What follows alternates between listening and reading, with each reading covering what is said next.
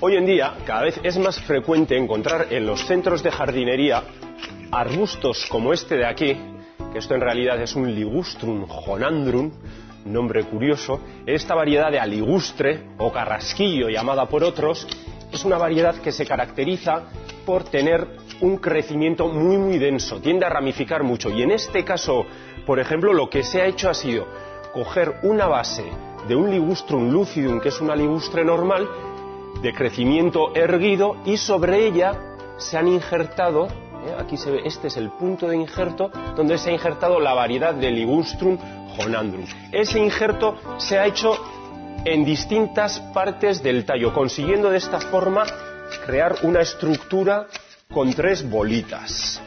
¿eh?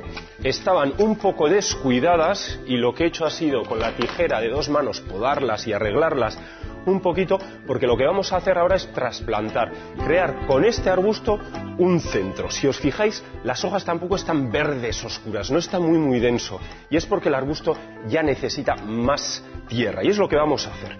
Vamos a hacer una aplicación de este aligustre a un contenedor que en este caso es media barrica. Las venden ya con un tratamiento para que la madera aguante la humedad. ¿eh? Hemos colocado en el agujerito que tiene en el centro un par de cachos de teja para que drene y lo que vamos a hacer es incorporar bien de sustrato. Tener en cuenta, en cuenta que en este recipiente nos entra mucho sustrato y por tanto echamos un par de sacos por ahora y antes de echar más tierra lo que tenemos que hacer es ahuecar bien este sustrato, que recupere su volumen. Ya hemos ahuecado la tierra y ahora lo que me estamos haciendo es crear el hoyo de plantación, el hueco para meter el cepellón de este aligustre, que me temo que va a ser un trabajo laborioso. Esto va a pesar lo suyo. A ver. Pues sí, sí que pesa. Pero uno que come muy bien y está muy fuerte lo puede hacer solo. Venga. Lo ponemos en una posición central ¿eh? y vamos presionando ligeramente la tierra. Bien. En este hueco que nos queda de lo que es el cepellón hasta el borde de la barrica, vamos a hacer una plantación perimetral para vestir más la parte baja de esta combinación.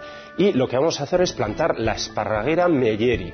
Se diferencia de la esparraguera normal porque tiene un crecimiento muy denso, va haciendo como unos churros que resultan muy muy decorativos. Y pondremos en total 5 unidades en toda la vuelta, dejando huequitos donde luego incorporaremos la flor de temporada. Metemos una segunda. ¿eh?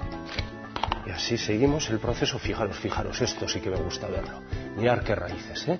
Aquí se ven, estos son los órganos de reserva. Aquí dentro hay agua y gracias a ese agua las esparragueras son plantas que aguantan perfectamente la sequía.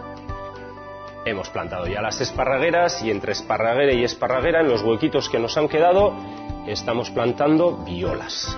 ¿eh? La viola es una planta, una flor de temporada de invierno, que es como un pensamiento pero a escala pequeña, muy decorativo, tiene un porte ligeramente péndula y va a ir perfectamente en esta combinación de verdes y el toque de color que aporta la viola con estas flores tan elegantes que además son comestibles. Si queréis sorprender a vuestros invitados, a los familiares con vuestras ensaladas, incorporar estas florecitas de violas y ya veréis qué bonito queda y además se pueden comer.